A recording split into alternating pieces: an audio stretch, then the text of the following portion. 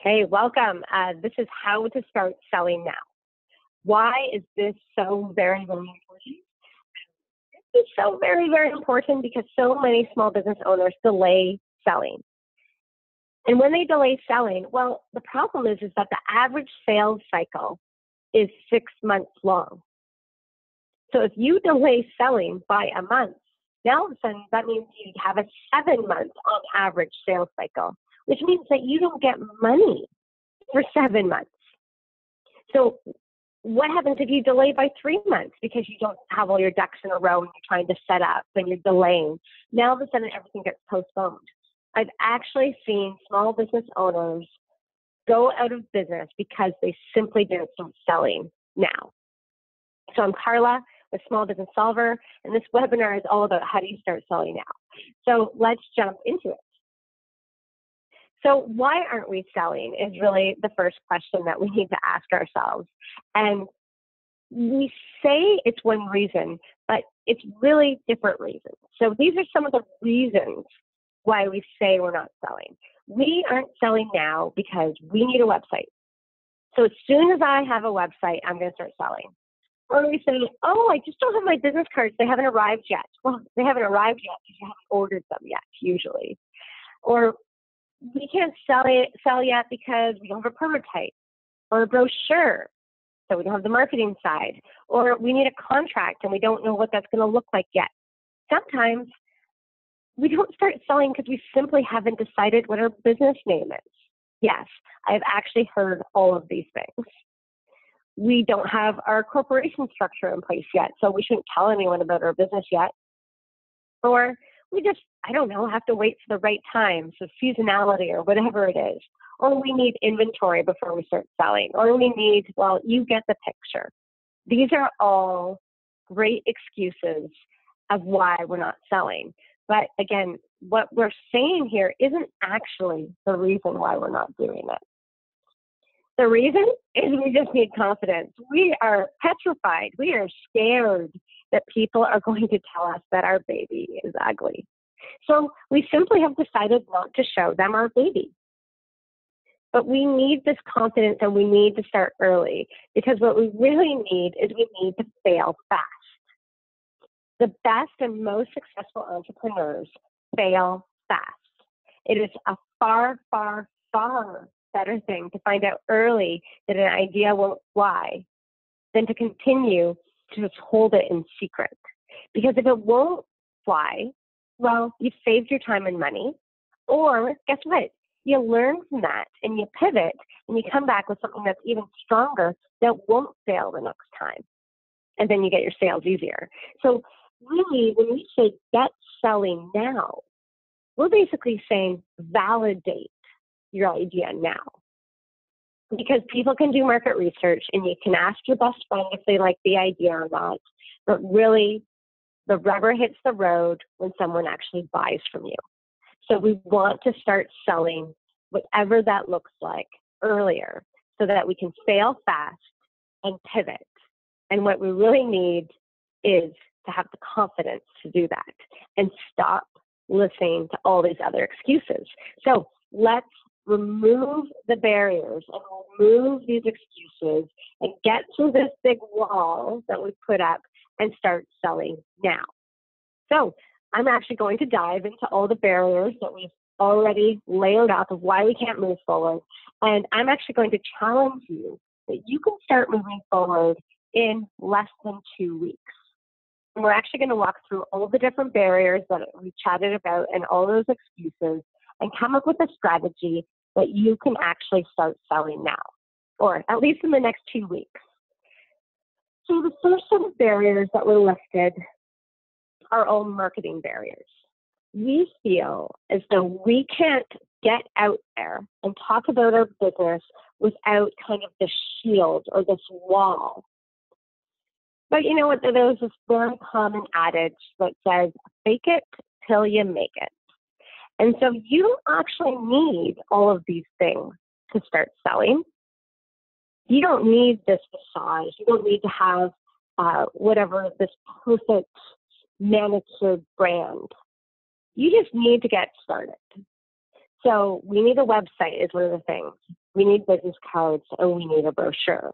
But really, when you say we need a website, is you need a web presence. There's a couple of ways to do that without waiting for your website team to get started. Number one, you can actually have a blog probably within the next hour. So if you went to WordPress.org or if you went to blogger.com um, or many other different blogs that you can actually post out there, you don't have to wait for your website. In fact, a blog can get your content up right away. Some people, when you go to a blog, they don't even know that it's a blog instead of a website. Um, and guess what? Blogs have great search engine optimization. So if you're on uh, a Google search or Yahoo search or whatever it is, blogs show up nine times out of the 10, even before websites do, because they're more current data, more uh, current content. So that's one way to do it. Another great way to have a web presence ASAP is Google Maps. Just put yourself on the map. Again, this would take less than an hour. I would challenge you less than 15 minutes to get it up there.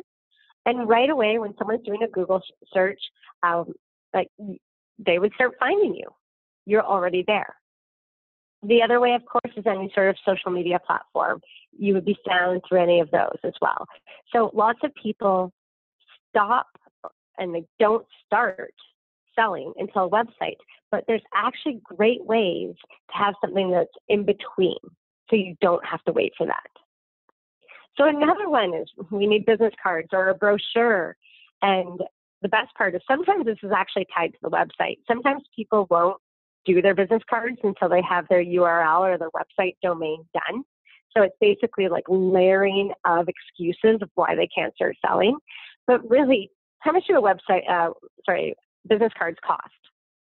You can go to Vistaprint and for about 10 bucks, you can get a couple hundred business cards. You can go almost anywhere and for less than 50 bucks, you can get your business cards. And there's lots of online tools that allow you to design it yourself. So you don't have to wait for the designer. And especially if you're trying to validate or get those first sales, why not do the first business card very cheap and cheerful? It doesn't need to be perfect at the beginning. And if you keep on waiting for perfection, you might actually go out of business. Same with a brochure. Like, how perfect does it have to be at the get go? You're only going to get better. And then when you have more budget because you land some sales, you can spend more money at that point in time. So, marketing out of the way. We've literally just said you could do your website, aka blog or social media or Google Maps, in less than an hour. And now we also know that you could go to Vistaprint or any other thing online, such as Staples Copy and Print, custom design your own business card, and have it ready pretty much by the end of the week. So again, both of those solutions um, to solve your excuse or your challenge of why you have decided not to start selling uh, can be done within the two week time frame that we chatted about. Okay, next barrier that we're really worried about is the operational pieces. So that's we need a prototype or we need inventory. So these are the operational reasons of why we are telling ourselves we can't start selling whatever we're, our product or service. So we need inventory. Well, there are so many businesses that have sold, in fact, millions without inventory. Inventory, in fact, many companies don't even have inventory. It goes directly from the manufacturer direct to your customer, doesn't even touch your warehouse, touch your business in any way. And so they're making millions without inventory. So why as a startup are we allowing that to stop us? Also, why would we have inventory if we didn't know that someone wanted it? We would never want to have a stockpile of inventory until we have some pre-sales. So pre-selling what you would then have to have is a minimum quantity that you're ordering for inventory is a smart thing to do. If you look at Kickstarter and any of the products that are being launched there, those are basically one way to do pre sales before you actually, so you don't have to have your inventory in place. So, inventory is something that you don't need to start selling. In fact, I would, I would recommend not to have inventory before you know you have at least a couple sales in hand you need to have that validation before investing that type of funding. Then there's something that's a little bit more basic than inventory. You're like, how can I sell if I don't have a prototype? Seriously, don't I have to show someone something? Well, in the product world, yes, everything always feels very, very tangible. So we really, really believe that we have to sell when we have something that we can touch and, and that's tangible as well. But the service sector, I mean, they their entire business is intangible. They sell the dream, they sell the concept. So why couldn't someone who's selling a product at least attempt and practice selling even without a prototype that you can touch and feel? So even the image here, you don't have to be able to touch and feel it. You just have to explain the concept. So could I sell a plane like this? Maybe I can't close the deal, but I could definitely start moving them through the funnel. Maybe once I finally do have my prototype, I've been selling or I have that relationship with that potential client for four months already. Remember, if the average sales cycle is six months, that's average, then it would be good if I started to do some of that pre selling work and I should start doing it soon. So, could I draw something up immediately? Could I get a Kickstarter campaign off the ground or create an online store within the next uh, on uh, eBay or Yahoo Store or anything like that for my pre-sales and for my, my prototyping? Absolutely. I could do that in two weeks. So the next one, legal barriers, the things that I really feel that I need to have before I land a sale. First thing, we need to have a contract in place. So yes, you want to have a customer agreement in place, but how fancy and formal do you actually need to have your agreement the first time? Um, there's a lot of, you could actually go online. Uh, Clausehound has contracts that uh, would give you some of the clauses that you need and give you, gives you customer agreements there. Or you could actually just come up with what are the key pieces that you need. Maybe you have a supplier, or maybe you have um, a, you've been a customer of an organization where they actually have a contract template. So you don't have to be, especially at the very beginning, how tight does the contract need to be? What needs to be in it? Where are there other templates out there? Um, do I have to wait for a lawyer for the next, I don't know, two months? Or is there something that I could get a fixed fee and get a legal agreement in a much shorter time frame? I could maybe go to a smaller law firm in order to get back quickly if that's what I felt that I needed. So again, you could have that in two weeks. The next one is a business name. So this one is one that I know a lot of people are hesitant to start selling before they have decided on a business name. And of course, we're always worried that our business name is going to be perfect for us, we love it, and it's going to help us still grow. So we do have in Small Business Solver a module to help you pick out your business name. And at the same time, a great rule of thumb is really when you're brainstorming what your business name should be, you should give yourself, it's actually a two week time frame. And at the point of two weeks, even if you're not 100% about a business name, it has to be good enough and you have to move forward and start selling. So count this as your warning. You have two weeks from now to brainstorm your business name. Definitely use the Small Business Solver, uh, creating your business name module. And within two weeks, that should drop dead date that you actually have to choose your business name so you aren't stopping yourself from selling. And the last one is we need a corporation. So you think that you need to have your business uh, in place, your corporation. Um, so for myself, when I started my own consulting firm, I actually sold before I had my legal entities uh, set up. And what I did is I just, you know, validated again. Wanted to see if people would actually buy consulting services from me. And then at the point that I had someone lined up and I was closing the deal, that's when I registered my business. So you actually don't even need to have the corporation before you start selling. In fact, you'd almost wonder like, why would I have a corporation if I don't know if I can sell? So with marketing and with operational and with legal barriers, there's ways that we can actually start moving forward within two weeks. And I already gave us all this great information. so what else? Um, there's still other excuses and reasons why we're going to come up. I mean, I've covered the main ones that I've heard, but there's going to be other things that do show up.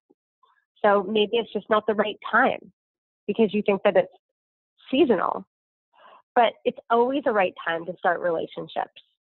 So relationships do not happen overnight. You don't want to, to do them when you need the sale. You want to start doing them now. So no matter what the seasonality, now is the right time. Uh, recommend going to networking events ASAP and just starting to hone your own skills, especially like practice your 30 second pitch. Start to meet people who might introduce you. Uh, start asking for referrals, whatever it is. But now is definitely the right time to start selling, or at least within the next two weeks. And then the last one is just we need blank. So there might be other things that are lingering for you that you're worried about, but really think about it doesn't have to be the whole enchilada. You don't have to do everything. Just like with the inventory, you don't need the inventory right now. You could get some pre-sale. With a website, you didn't need the whole website. You could do a blog or social media or something different. So whatever it is that you're feeling that you need to have, is there something that's like a baby step that you could have now to test if your baby is ugly? So, as I've been mentioning the whole time, you can definitely start selling within two weeks. And the whole thing is, as you go through this webinar, what are the things that you need to action? Get those actions done. And then after that, focus on your sales. Because it does take an average of six months to get your sales through the pipeline. And the last thing you want is for your business idea, that might be an amazing idea, to not fly because you didn't sell it. So, how to start selling now? I hope that this gave you lots of tips and tricks and motivated to get you started. Um, love to hear uh, some of the things that are happening. Just tweet us at Business Solver uh, or contact us directly if you have any other questions. Thank you.